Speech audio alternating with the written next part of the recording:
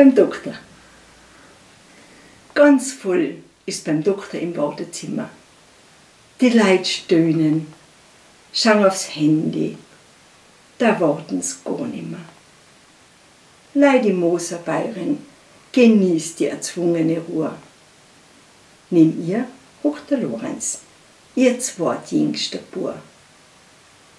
Selten tut's die Bayerin zum Stadtdoktor treiben. Sie konnte ja fast selber ein Doktorbuch schreiben, als Mam von sechs Buben, von denen allmanner schreit. Und als Dienst hat's von morgens bis geschnachts wenig Zeit.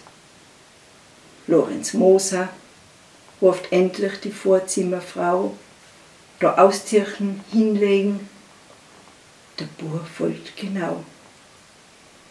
Nach einem Weilerl kommt auch noch der Doktor daher. Na, Bübel, wo fallt's denn? Tut dir irgendetwas weh? Der Bub schaut die Mama an. Was soll er jetzt sagen? Der Doktor tut komische Sachen fragen. Die Mam schaut den Burm an, schlagt die Hände zusammen, ganz tritt. Meiner Seel, ich hun ja einen falschen Buben mit.